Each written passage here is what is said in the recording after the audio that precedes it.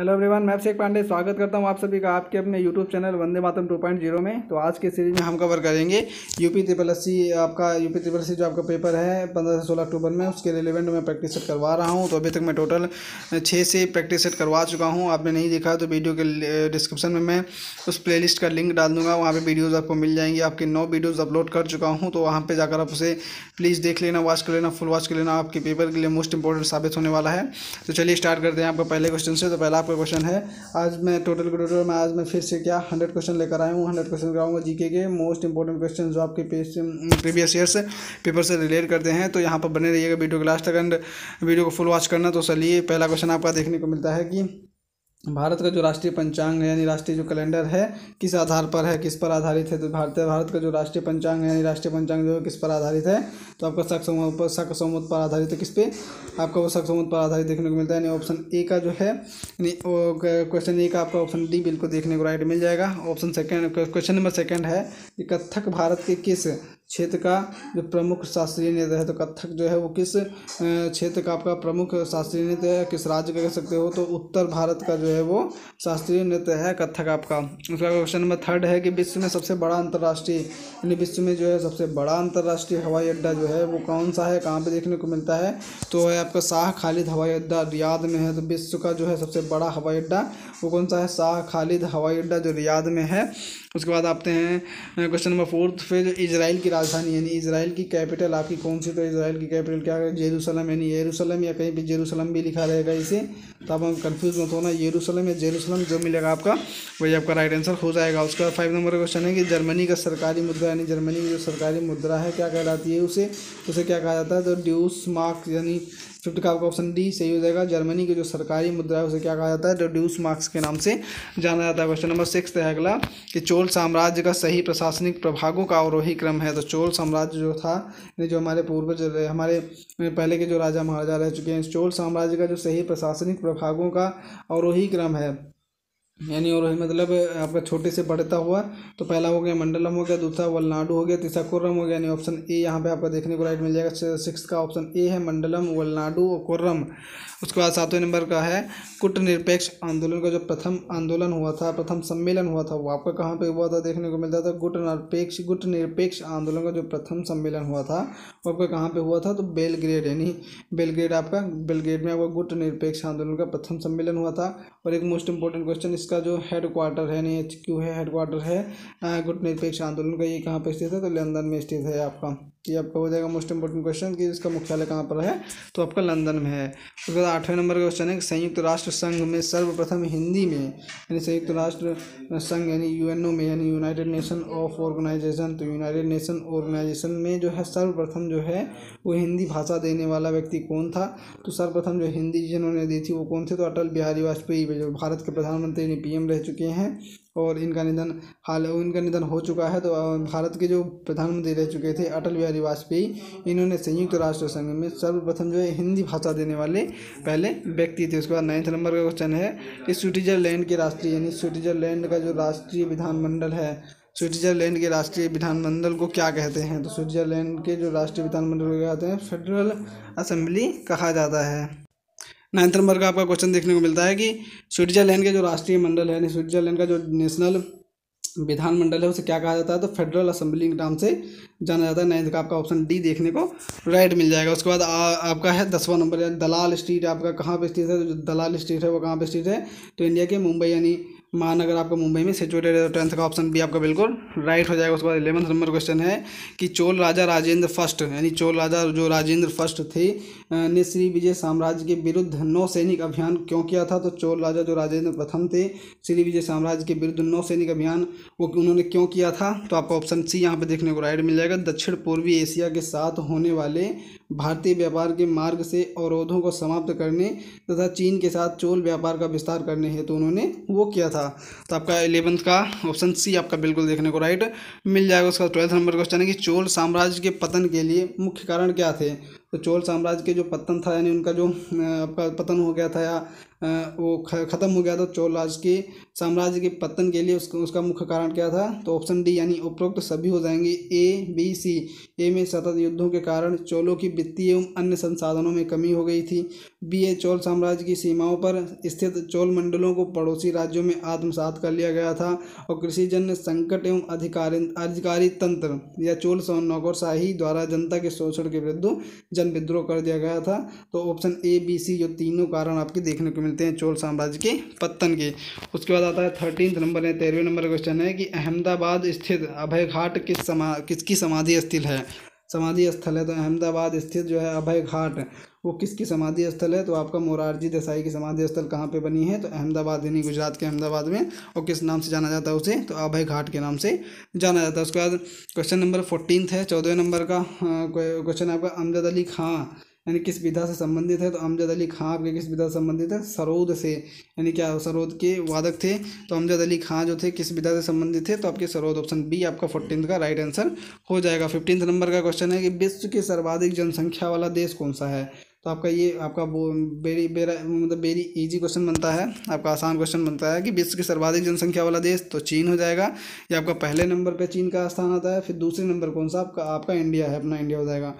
तो फिफ्टीन का option C बिल्कुल देखने को राइट मिल जाएगा उसके बाद सिक्सटीन यानी सोलह नंबर का क्वेश्चन है कि भारत के विदेशी विनिमय का समय यानी भारत के विदेशी विनिमय समय का प्रतिरक्षक कौन सा है तो आपका भारत के विदेशी विनिमय समय का प्रतिरक्षक आपका R B I reserve bank of India और इसकी स्थापना कब हुई थी तो 1935 एंड एक अप्रैल 1935 में इसकी स्थापना हुई थी उसके बाद सत्रह नंबर क्वेश्चन है स्पेन का जो राष्ट्रीय खेल है यानी स्पेन का जो है नेशनल नेशनल प्ले कौन सा है तो आपका कौन सा हो जाएगा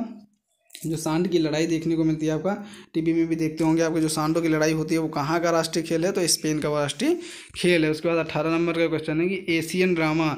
पुस्तक के लेखक कौन है तो एशियन ड्रामा पुस्तक के लेखक आपके कौन देखने को मिलते हैं तो एशियन ड्रामा पुस्तक के लेखक आपके कौन है तो गुन्नार मेडल जी हैं एटीन का आपका ऑप्शन ए राइट हो जाएगा उसके बाद उन्नीस नंबर का क्वेश्चन है कि India wins freedom India wins freedom पुस्तक के लेखक आपके कौन है तो इंडिया विंस आपके फ्रीडम इसकी पुस्तक के लेखक है मौलाना अबुल कलाम आज़ाद तो इसके लेखक कौन है मौलाना अबुल कलाम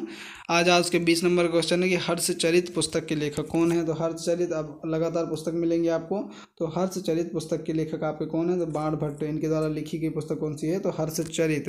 उसके बाद इक्कीस नंबर का क्वेश्चन है कि शाहनामा की पुस्तक यानी शाहनामा पुस्तक इसके रचयिता कौन है या इसके लेखक कौन है तो आपका हो जाएगा अलबरूनी के द्वारा लिखी गई है आपकी शाहनामा उसके बाद बाईस नंबर का क्वेश्चन है कि चीनी यात्री फाहयान किसके शासनकाल में भारत आया था तो चीनी यात्री जो फाहयान था वो किसके शासनकाल में आपका भारत आया था तो होगा आपका क्या हो जाएगा ऑप्शन डी यहाँ पे सही हो जाएगा चंद्रगुप्त द्वितीय के शासनकाल में ये भारत आया था उसके बाद ट्वेंटी थ्री नंबर क्वेश्चन है कि चीनी यात्री हुएन सांग चीनी यात्री हुएन सांग किसके शासनकाल में भारत आया था चीनी यात्री हुएन सांग जो है किसके शासनकाल में भारत आया था तो आपके हर्षवर्धन यानी दो आपका बाईस तेईस जो क्वेश्चन अभी देख के आया कि फनसांग और फाहयान दोनों के दोनों आपके चीनी यात्री थे और किसके शासनकाल में आए थे मोस्ट इंपॉर्टेंट आपका क्वेश्चन बन जाता है मोस्ट इंपॉर्टेंट उसके बाद आता है ट्वेंटी फोर्थ नंबर का गुरु नानक देव का जन्म कब हुआ था तो गुरु नानक देव जी का जन्म वो कब हुआ था तो आपका चौदह सौ उनहत्तर यानी ऑप्शन ए चौबीस का बिल्कुल राइट हो जाएगा फोर्टीन सिक्सटी नाइन में हुआ था आपका गुरु नानक देव जी का जन्म हुआ था उसके बाद ट्वेंटी फाइव नंबर का क्वेश्चन है कि स्वराज पार्टी के संस्थापक कौन थे तो स्वराज पार्टी के संस्थापक आपके कौन थे तो मोतीलाल नेहरू और कौन से थे चितरंजन दास तो आपका मोतीलाल नेहरू प्लस चितरंजन दास दोनों जी ने स्वराज पार्टी की जो है स्थापना की थी या उसके संस्थापक माने जाते हैं उसका छब्बीस नंबर क्वेश्चन है कि भारतीय राष्ट्रीय कांग्रेस और मुगली मुस्लिम लीग ने लखनऊ में कब एक समझौते पर हस्ताक्षर किए थे तो आपका हो जाएगा भारतीय राष्ट्रीय कांग्रेस और मुस्लिम लीग ने लखनऊ में कब एक समझौते पर हस्ताक्षर किए थे तो आपका वो वर्ष उन्नीस सौ सोलह में उसके बाद अगला क्वेश्चन है सत्ताईस नंबर का क्वेश्चन हो जाएगा आपका बिहार को बंगाल से अलग करके एक पृथक प्रांत कब बनाया गया था तो बिहार को जो है बंगाल से अलग करके बिहार को बंगाल से अलग करके एक पृथक प्रांत कब बनाया गया था तो 1912 में पहले बिहार कहाँ लगता था तो बंगाल में लगा करता था 1912 में उसे अलग करके एक अलग प्रांत एक अलग राज्य बना दिया गया है उसके बाद नालंदा महाविहार तो आपका अट्ठाईस नंबर क्वेश्चन है नालंदा महाविहार का निर्माण जो है वो किसके शासनकाल में हुआ था तो नालंदा महाविहार का जो आपका निर्माण हुआ था वो गुप्त के शासनकाल में हुआ था यानी गुप्त काल में हुआ था तो ट्वेंटी नाइन्थ नंबर क्वेश्चन है क्या उनतीसवें नंबर का क्वेश्चन है कि भारत की संसद में कौन कौन शामिल हैं तो भारत की संसद में आपको कौन कौन शामिल हैं वो देखने को मिलता है लोकसभा राज्यसभा और राष्ट्रपति यानी आपकी लोकसभा एक सदन हो गया दूसरा राज्यसभा तीसरा राष्ट्रपति तो भारत की संसद में तीन आपके शामिल हैं आपका लोकसभा हो गया राज्यसभा हो गया और संसद हो गया वो लोकसभा राज्यसभा और राष्ट्रपति तीसरे तीसरे नंबर का क्वेश्चन क्या है कि भारत के उपराष्ट्रपति का चुनाव कौन करता है तो भारत के जो है उपराष्ट्रपति का चुनाव वो कौन करता है तो संसद के दोनों सदनों के सदस्यगण तो इसका आपका ऑप्शन सी राइट हो जाएगा संसद के दोनों सदनों के जो सदस्यगण होते हैं वो उपराष्ट्रपति के चुनाव का वह चुनाव करते हैं उसका इकतीस नंबर क्वेश्चन है कि भारतीय संसद के दोनों सदनों की संयुक्त बैठक की अध्यक्षता कौन करता है तो भारतीय संसद के दोनों सदन राज्यसभा लोकसभा की संयुक्त बैठक की अध्यक्षता कौन करता है तो लोकसभा अध्यक्ष से करते हैं यानी लोकसभा स्पीकर और उनकी दोनों की अध्यक्षता करते हैं उसके बाद थर्टी टू नंबर क्वेश्चन है कि दो अधिवेशनों के मध्य यानी दो अधिवेशनों के मध्य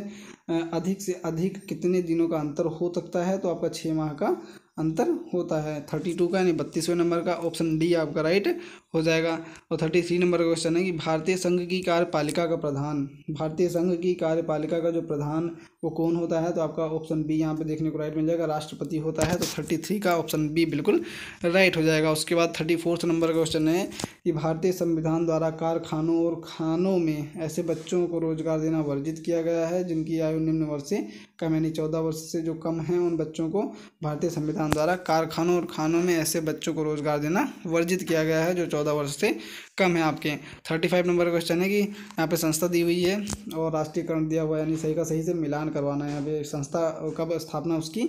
हो गई थी तो आपका पहला था आर दूसरा एस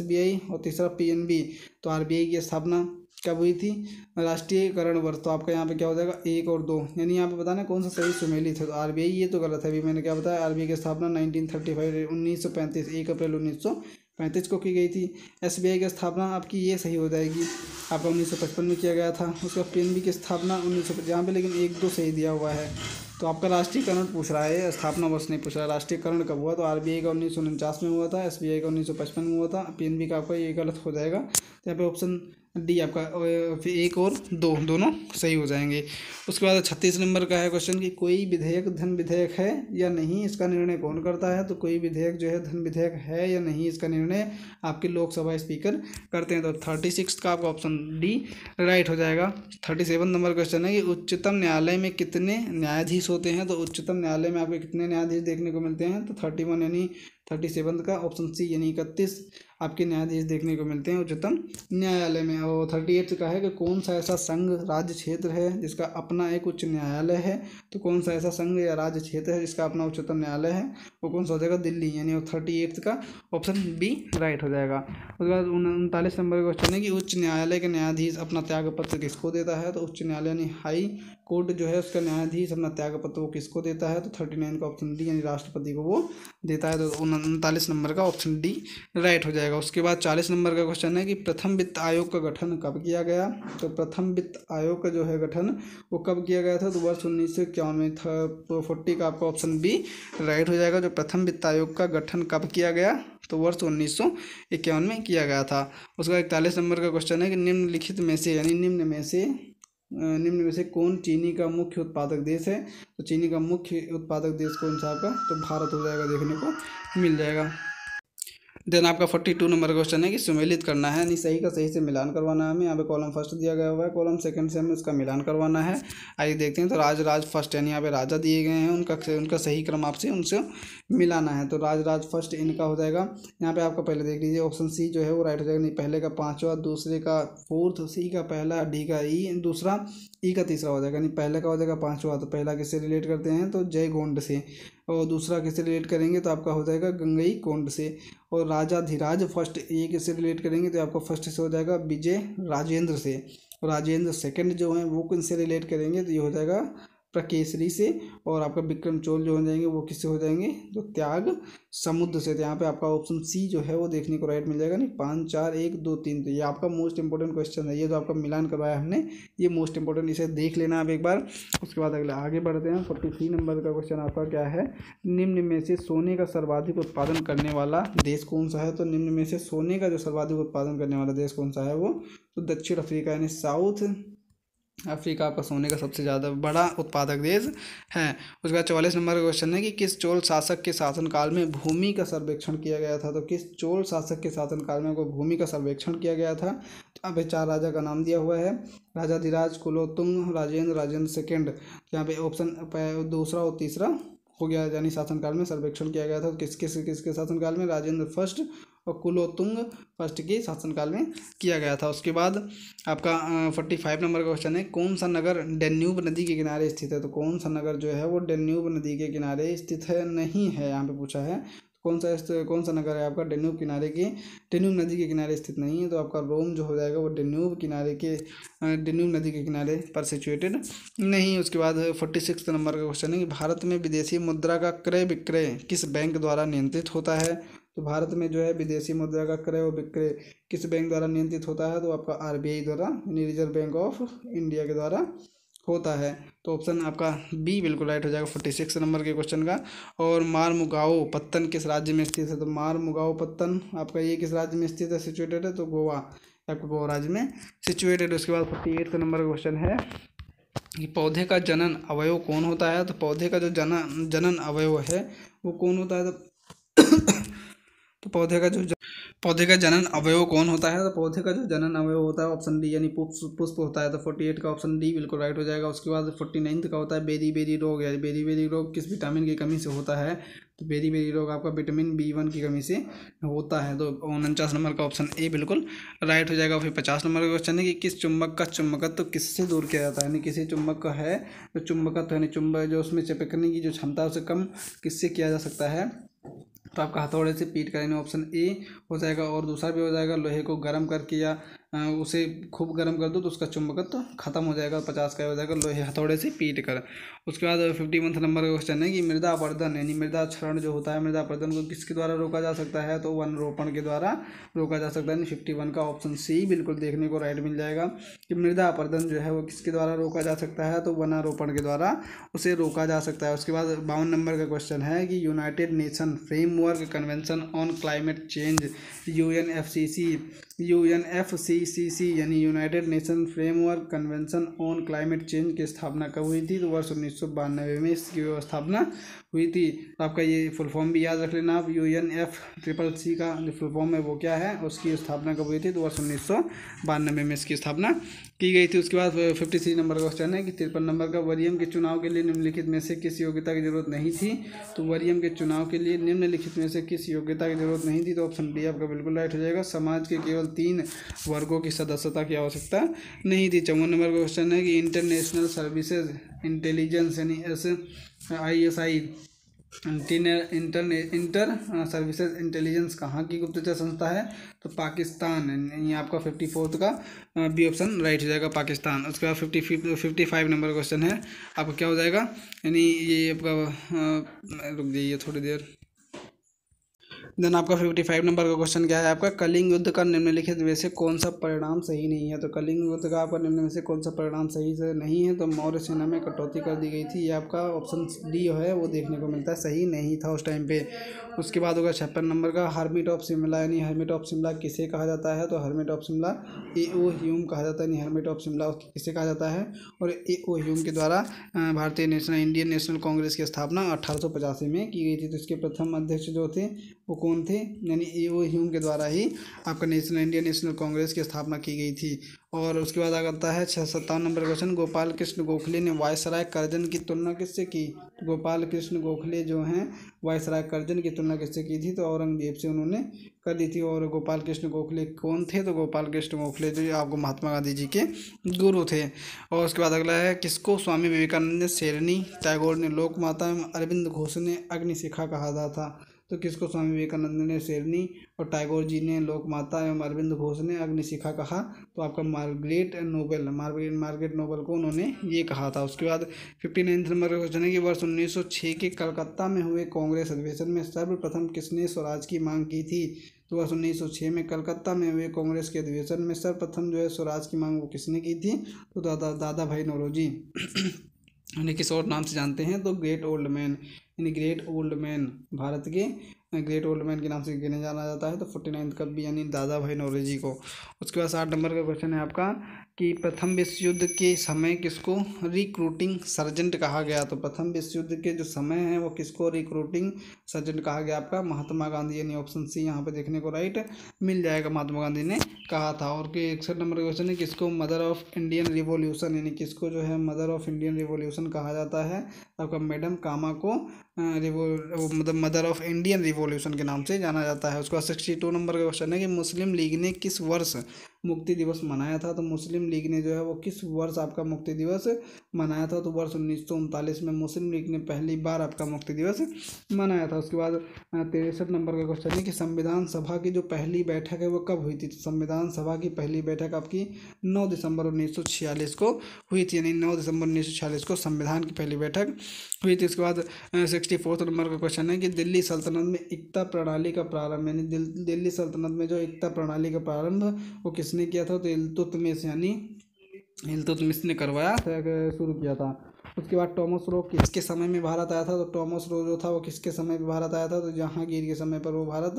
आया था जितने क्वेश्चन मैं करा रहा हूँ मोस्ट इंपॉर्टेंट हैं आप इन्हें देख कर प्लीज़ जाना पेपर में तो टॉमस रो किसके समय में भारत आया था तो जहांगीर यानी सिक्सटी फाइव ऑप्शन बी बिल्कुल राइट हो जाएगा उसके बाद छाछठ नंबर का है जप्ती प्रणाली का जन्मदिन जन्मदिन यानी जब जप्ती प्रणाली का जन्मदाता कौन था तो जप्ती प्रणाली का आपका जन्मदाता टोडर मलिनी आपका सिक्सटी सिक्स का ऑप्शन सी बिल्कुल राइट हो जाएगा उसके बाद सड़सठ नंबर क्वेश्चन है कि इलाही गज का प्रचलन यानी इलाही गज का प्रचलन किसने करवाया था तो इलाही गज का जो प्रचलन है वो अकबर ने करवाया था सिक्सटी सेवन का आपका ऑप्शन सी बिल्कुल राइट हो जाएगा और सिक्सटी अड़सठ नंबर क्वेश्चन है कि किस मुगल सम्राट को यानी किस मुगल सम्राट को जिंदा पीर कहा जाता था यानी किस मुगल सम्राट को जिंदा पीर कहा जाता था औरंगजेब को जिंदा पीर के नाम से जाना जाता था उसके बाद उनहत्तर नंबर का क्वेश्चन है कि लोधी वंश के किस शासक ने सर्वप्रथम राजधानी को दिल्ली से आगरा स्थानांतरित किया तो लोधी वंश के किस शासक ने जो सर्वप्रथम राजधानी दिल्ली से आगरा स्थानांतरित किया था तो वो कौन थे आपके सिकंदर लोधी इन्होंने सबसे पहले ये काम किया था उसके बाद सत्तर नंबर का क्वेश्चन कि भारत का राष्ट्रीय आदर्श वाक्य सत्यमेव जयते कहाँ से उद्धृत है भारत का राष्ट्रीय आदर्श वाक्य सत्यमेव जयते ये कहाँ से उद्धृत है तो मुंडको उपनिषद से मुंडको उपनिषद से इसे लिया गया उसके बाद इकहत्तर नंबर का क्वेश्चन है कि भूगोल का जनक जो है वो किसको माना जाता है तो भूगोल का जन्म ही के टी एस को माना जाता है तो इकहत्तर नंबर का ऑप्शन ए बिल्कुल राइट हो जाएगा बहत्तर नंबर का क्वेश्चन है किस ग्रह को लेटा हुआ ग्रह कहा जाता है तो किस ग्रह को लेटा हुआ ग्रह ग्रह कहा जाता है तो अरुण आपका अरुण ग्रह को लेटा हुआ ग्रह कहा जाता है सर थर्टी थ्री यानी सेवेंटी थ्री का यानी तिहत्तर नंबर क्वेश्चन है आपका किस ग्रह को जो है सायम का तारा तथा भोर का तारा भी कहा जाता है तो आपका शुक्र ग्रह हो जाएगा यानी तिहत्तर नंबर का ऑप्शन बी बिल्कुल राइट हो जाएगा उसके बाद सेवेंटी फोर्थ नंबर क्वेश्चन है कि देन आपका सेवेंटी फोर्थ यानी सेवेंटी फोर्थ नंबर क्वेश्चन है किस ग्रह को जो है लाल ग्रह कहा जाता है तो किस ग्रह को आपका लाल ग्रह कहा जाता है तो मंगल को लाल ग्रह के नाम से जाना जाता है सेवेंटी फोर्थ का ऑप्शन सी बिल्कुल राइट हो जाएगा और सेवेंटी फाइव यानी पचहत्तर नंबर क्वेश्चन है सूर्य की किरणों को पृथ्वी तक पहुंचने में आपको कितना समय लगता है तो ऑप्शन ए यानी आठ मिनट बीस सेकंड का समय लगता है वो अर्थ पर पहुंचने में उसके बाद सेवेंटी सिक्स यानी छिहत्तर नंबर क्वेश्चन है निम्नलिखित में से कौन सा ऐसे वैश्विक तापमान तापन का प्रभाव है तो आपका बी और सी देखने को राइट मिल जाएगा समुद्र तल का ऊपर उठना महासागरीय धाराओं की प्रकृति में परिवर्तन उसके बाद सतहत्तर नंबर क्वेश्चन है कि क्षेत्रफल की दृष्टि से विश्व का सबसे बड़ा यानी क्षेत्रफल की दृष्टि से विश्व का सबसे बड़ा भू आवेष्टित आवेष्टित देश कौन सा आपका तो मंगोलिया सेवेंटी सेवन का आपका ऑप्शन सी राइट हो जाएगा टिहरी बांध किस नदी पर बना हुआ है तो टिहरी बांध आपका भगीरथी नदी पर बना हुआ है अठहत्तर नंबर का ऑप्शन ए बिल्कुल राइट हो जाएगा उन्यासी नंबर का क्वेश्चन है कि विश्व का सबसे बड़ा फरक्का बैराज भारत के किस राज्य में गंगा नदी पर बना है तो विश्व का सबसे बड़ा फरक्का बैराज आपका पश्चिम बंगाल में गंगा नदी पर बना हुआ है अस्सी नंबर का क्वेश्चन है उसके बाद भारतीय गैस प्राधिकरण की स्थापना कब की गई थी तो भारतीय गैस प्राधिकरण की स्थापना आपका वर्ष उन्नीस में की गई थी यानी आपका अस्सी नंबर का ऑप्शन डी बिल्कुल राइट हो जाएगा इक्यासी नंबर का क्वेश्चन है कि भारत में कृषि मूल्य आयोग की स्थापना कब की गई थी तो वर्ष उन्नीस में इसकी स्थापना की गई थी यानी इक्यासी का ऑप्शन सी आपका राइट हो जाएगा झील के अंदर झील मेनीटू किस देश में स्थित है तो झील के अंदर जो झील मेनीटू है वो किस देश में स्थित है तो कनाडा यानी बयासी नंबर का ऑप्शन ए बिल्कुल राइट हो जाएगा उसके बाद एट्टी थ्री नंबर क्वेश्चन है कि किस देश को यूरोप का भारत कहा जाता है यानी जो है किस देश को जो है यूरोप का भारत कहा जाता है तो इटली को जो है यूरोप का भारत कहा जाता है उसके बाद एटी फोर्थ नंबर का है कि भारत के किस राज्य में लाख का सर्वाधिक उत्पादन होता है तो लाख का आपका सर्वाधिक उत्पादन कहाँ पे होता है तो आपका एट्टी फोर्थ का ऑप्शन नहीं झारखंड में वो देखने को मिलता है उसके बाद एट्टी फाइव नंबर का क्वेश्चन है कि मानव मानव द्वारा सर्वप्रथम प्रयोग में लाई गई धातु कौन सी है तो मानव द्वारा जो है सर्वप्रथम प्रयोग में लाई गई धातु आपका तांबा है एट्टी फाइव का आपका ऑप्शन सी राइट हो जाएगा एट्टी सिक्स तक गंगा नदी की सबसे बड़ी सहायक नदी यानी गंगा नदी की जो सबसे बड़ी सहायक नदी है वो कौन सी है आपकी तो यमुना सबसे बड़ी सहायक नदी है गंगा नदी की उसके बाद आते हैं सतासी नंबर क्वेश्चन है आपका कि पारिस्थितिक तंत्र यानी पारिस्थितिकी तंत्र के अंतर्गत एक पोषण स्तर से पारिस्थितिकी तंत्र के अंतर्गत एक पोषण से एक पोषण स्तर से दूसरे पोषण स्तर तक कितने प्रतिशत ऊर्जा का स्थानांतरण होता है तो टेन परसेंट आपका ऊर्जा का स्थानांतरण होता है टी टी सेवन का आपका सी ऑप्शन राइट हो जाएगा भारत में इलायची का सर्वाधिक उत्पादक देश उत्पादक राज्य आपको कौन सा तो भारत में जो है वो इलायची का सर्वाधिक उत्पादक राज्य आपका केरल है केरल में सबसे ज़्यादा इलायची आपका उत्पादन होता है उसके बाद एट्टी नाइन का क्वेश्चन है निम्नलिखित में से कौन सा कथन सत्य नहीं है तो आपको इसमें से बताना है कौन सा कथन आपका सत्य नहीं है तो निम्नलिखित में से कौन सा कथन आपका सत्य नहीं है तो आपका यहाँ पे ऑप्शन डी यानी उपरोक्त में से कोई नहीं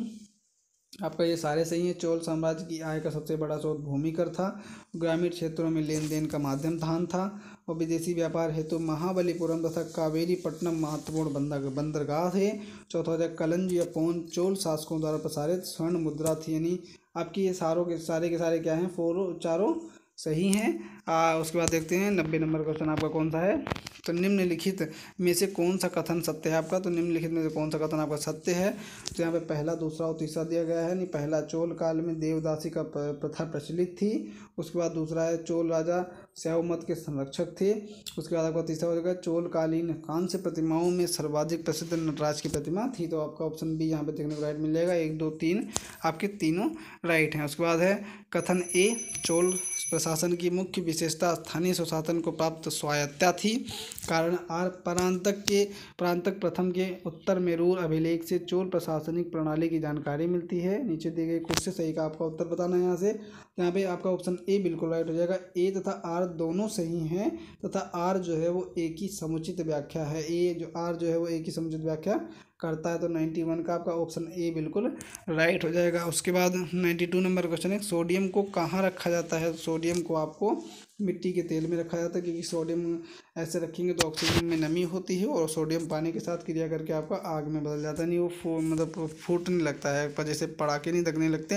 वैसे आपका वो दगने लगता है नाइन्टी थ्री नंबर क्वेश्चन है कि निम्नलिखित में से कौन सी भारतीय कृषि यानी निम्नलिखित में से कौन सा भारतीय कृषि की निम्न उत्पादकता का कारण नहीं है तो आपका सहकारी कृषि जो है नाइन्टी थ्री का ऑप्शन सी बिल्कुल राइट हो जाएगा सहकारी कृषि जो है वो आपको भारतीय कृषि की निम्न उत्पादकता का कारण नहीं है उसके बाद नाइन्टी फोर्थ नंबर क्वेश्चन है अंतरिक्ष अंतरिक्ष यात्रियों को आकाश का रंग जो है कैसा दिखाई देता है तो अंतरिक्ष यात्रियों को आकाश का रंग जो है वो बिल्कुल काला दिखाई देता है तो नाइन्टी फोर्थ का आपका ऑप्शन डी बिल्कुल राइट हो जाएगा फिर नाइन्टी फाइव नंबर क्वेश्चन है कि आग बुझाने में किस गैस का प्रयोग किया जाता है तो आग बुझाने में जो है वो किस गैस का उपयोग किया जाता है तो आपका कार्बन डाइऑक्साइड का उपयोग किया जाता है नाइन्टी फाइव का ऑप्शन डी बिल्कुल राइट हो जाएगा सिनेबार जो है वो किसका एस्क है तो सिनेबार आपका किसका एस्क है तो पारे का एस्क है सिनेबार तो नाइन्टी सिक्स का ऑप्शन ए बिल्कुल राइट हो जाएगा हंसाने वाली गैस कौन सी है तो हंसाने वाली गैस आपकी कौन सी है तो नाइट्रस ऑक्साइड ऑप्शन ए आपका बिल्कुल राइट हो जाएगा नाइन्टी सेवन का उसका नाइन्टी एट नंबर क्वेश्चन है कि नाबार्ड की स्थापना कब हुई थी तो वर्ष उन्नीस सौ बयासी में आपकी नाबार्ड की स्थापना हुई थी ये मोस्ट इंपॉर्टेंट क्वेश्चन है इसको पूछे भी जा चुके हैं नाबार्ड की फुल फॉर्म नाबार्ड का आपका हम्म, आपका स्थापना वर्ष कब तो वर्ष उन्नीस सौ बयासी में इसकी स्थापना की गई थी उसके बाद आ गया आ, उसके बाद नाइन्टी नाइन नंबर का क्वेश्चन है कि लॉर्ड्स किस खेल से किस खेल के लिए प्रचलित हैं तो लॉर्ड्स जो हैं वो किस खेल के लिए प्रचलित हैं तो आपका क्रिकेट के लिए प्रचलित हैं उसके बाद सर इसका इस वीडियो का सबसे लास्ट क्वेश्चन और हंड्रेड नंबर का क्वेश्चन कंप्लीट पूरा हो चुका है उसके बाद हंड्रेड नंबर क्वेश्चन है सार्वजनिक या निजी क्षेत्र में किसी उद्यम के वर्गीकरण का क्या आधार है तो ऑप्शन बी यहाँ पे देखने को राइट मिल जाएगा उद्यम की परिसंपत्तियों का स्वामित्व तो यहाँ पे टोटल के टोटल में क्या हंड्रेड क्वेश्चन करवा चुका हूँ और आपको वीडियो अगर अच्छी लगी हो तो वीडियो को ज़्यादा से ज़्यादा लाइक कीजिए शेयर कीजिए एंड सब्सक्राइब कीजिए और सब्सक्राइब करवाइए सो और इससे पहले अगर आप इससे पहले की वीडियो नहीं देखे हो तो उसमें भी मैं टोटल हंड्रेड क्वेश्चन करवा चुका हूँ वो भी जाकर आप वहाँ विजिट करके चैनल पर देख लेना चैनल का नाम क्या आपका वंदे मातम टू पॉइंट जीरो यानी वंदे मातम टू पॉइंट जीरो के नाम से आपका चैनल है तो वहाँ पर जाकर आप प्ले में कवर जाइएगा तो सारी की सारी वीडियोज़ में प्ले में डाल चुका हूँ तो वहाँ पर जाकर आप उसे देख लेना सो थैंक्स फॉर वॉचिंग